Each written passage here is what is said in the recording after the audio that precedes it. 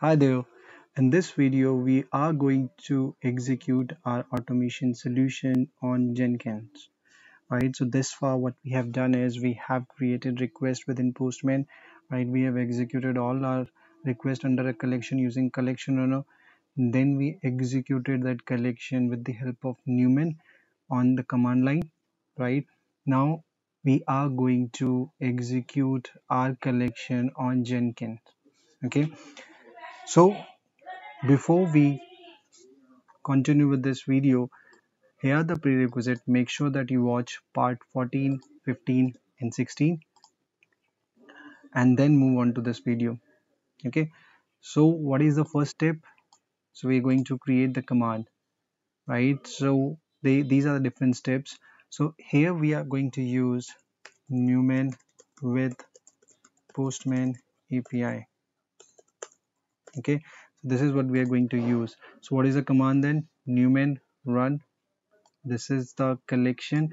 So you could see that i'm making use of apis and the reason is of course again watch that video in which i've already covered that newman with postman api uh, now you know it is always going to fetch the latest collection. Okay? Uh, and then environment also i'm fetching with the help of a postman api key. Then these are the report reports that i'm going to generate so I'm going to generate CLI, JUnit, HTML and HTML extra report. Then these are this is the path for JUnit report, right? So under my workspace, I'm going to create a folder reports and inside that this is the report that will be generated. Right, same is the case with HTML and HTML extra report, right? And then hyphen K since I'm not passing any certificate information, right? So this is going to be my command. So let's open our so here's the list. So uh, this is this is the playlist. So you have to watch part 14 part 15 and part 16 okay? Then move on to this video. All right so I've already logged into my console. Uh, sorry Jenkins. Click on new item. Give it a name so postman on jenkins. Click the freestyle project. Click on ok alright. And go to the build section. So since I'm working on Windows I'm going to use execute Windows batch command. So come here. You need to explain this right? If you watch part 14 15 16 I'm simply going to copy this paste it here okay? So this is my build action. Post build let's say I want to publish JUnit report. So I have to mention where this report is getting generated. So this report is getting generated here okay? So I have to add one more. Let's say I also want to publish the HTML report right so let me click on add and uh, HTML directory to archive. Let me say reports only. And instead of normal HTML I like this report HTML extra. So I am going to provide the name of this report. Okay. And I guess pretty much it. Let's apply and so this is these are the two reports I'm going to generate at the end. Let me hit the save button. Okay. So yeah it's configured. So let us look at the collection for which I'm setting up this job at Jenkins. So this is my collection. In this uh, I have written some test cases as well. So these test cases are covering as you could see the schema validation I've already lifted it to uh, lifted up to the collection level and then we are checking the body and all right? And uh, this is also following the chaining part because I'm passing the ID from this previously generated right? We have seen that in the request collection. So so basically we are we are working on a pretty advanced uh, collection right which has got chaining concepts built in which have got you know uh, those advanced test cases like schema validation and body right? And we we have also seen that you know all these common test cases are lifted up to the collection level all right so this is the collection that uh, we are working on. So let's uh, uh, yeah so we are here. Right let's build that. So postman on jenkins. So this has started. Let's click on that. See on the console. See that's the name of the collection.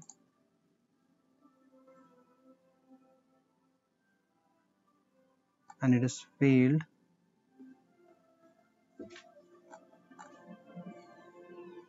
Because of this connection.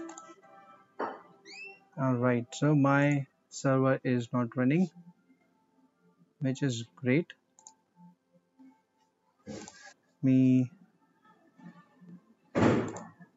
just wait for this to come up and we can go to back to project click on back to projects. Come here. So this is the report. Right we have seen that in past. So total request 5 fail these are all fail but again because my my server was not running. So yeah I think it's up now. It's up now. Let us try that one more time. And again click on build. So, so what has happened is in the previous step you could see that the workspace is added and under that in the report folder is created and you see all those three reports okay? So you click on that and you see the problem that has happened right? So connection refused right? So from the from your CI server screen you can figure out okay uh, what has gone wrong all right um, and same way in these other report this is a normal HTML report. I like this one extra. So you have the light theme dark theme you know you can click on these tabs and see more information. Anyways let's uh, uh, build it again our server is up and running.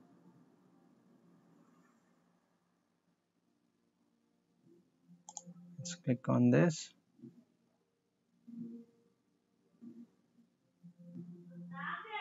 Right so this is again failing. And response time is less than so expected this to be below 700 so this is a, a valid failure right? Uh, nothing to do with the uh, you know Jenkins or or the way we have set it up on Jenkins okay?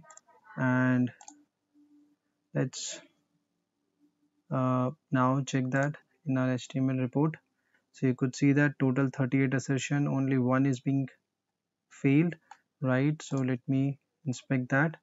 And the assertion is being failed right expected this to be below. So I expected all my uh, you know request should take lesser than uh, 700 milliseconds but this one took approximately 5 seconds.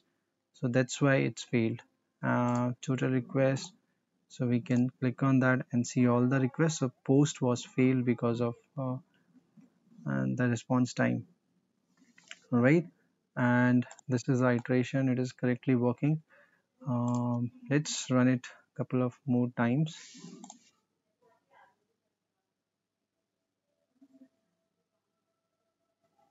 See if it works. If it passes this time.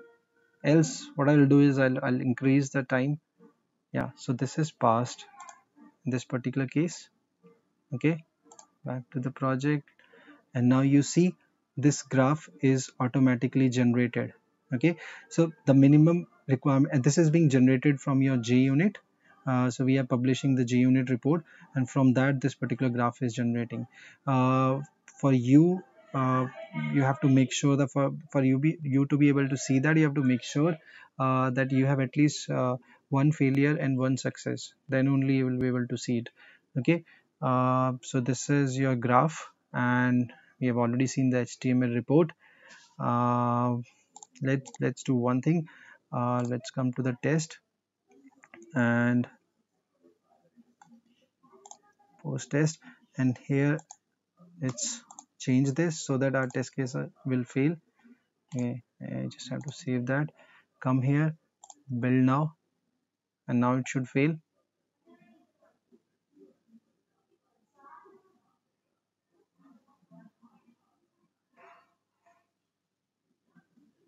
Right? So it is failed right? Uh, let's reload this page. Check the report okay? And here this time it's failing. And let's see. So you could clearly see that right? So what is the problem? So yeah. Now if in your case you see the HTML report like this okay? So there is a reason for that. And what you have to do is so this is uh, related to the setting at your Jenkins end. Uh, what you have to do is so you have to you have to click on the Jenkins you have to go to manage right and click on script console. And here you have to pass on this to show reports.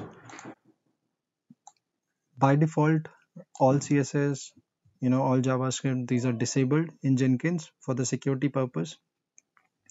So uh, that's the default setting. Uh, make sure that you know whenever whenever you make, make such changes you know there has to be a valid reason and you provide uh, you know you safeguard your resources all right uh, this is just uh, for the knowledge purpose. Okay. So this is this is it. This is how you can uh, run your uh, postman test on jenkins uh, and you know you can generate uh, all these reports different type of reports graphs right? Your workspace you see all the reports. You can you know export these reports. If you want to you can again uh, you know set a post build action where you can send these reports to somebody and so on. All right? So i hope you like this video. Thank you